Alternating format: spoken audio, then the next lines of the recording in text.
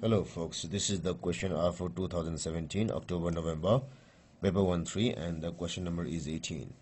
It says that a trolley, a trolley rolls along a horizontal surface and then travels up a slope, up a slope before reaching a second horizontal surface like this.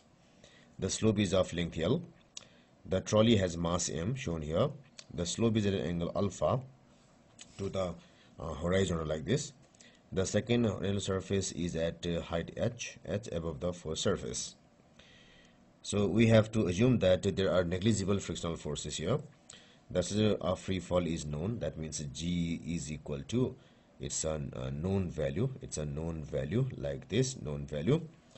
In order to determine the minimum initial velocity of the trolley for it to reach the top of the slope, so we have to find the velocity here so that it can reach the top what the additional values are needed. So since we have no friction here, what we just need to take care of is the action of gravity. So if I say the velocity here is u, is u, uh, and if it has to reach just the top, the velocity here should be equal to 0.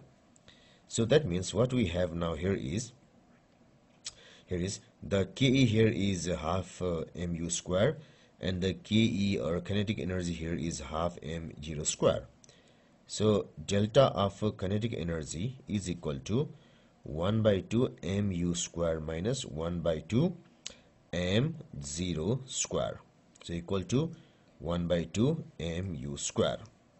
So this uh, decrease in Ke uh, is used in increasing the value of potential energy and that's equal to the P here is equal to mgh minus the P here is equal to 0 equal to mgh and since there is no friction no other energies need to be considered.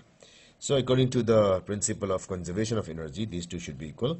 So what we must have is 1 by 2 m u squared equal to m g h.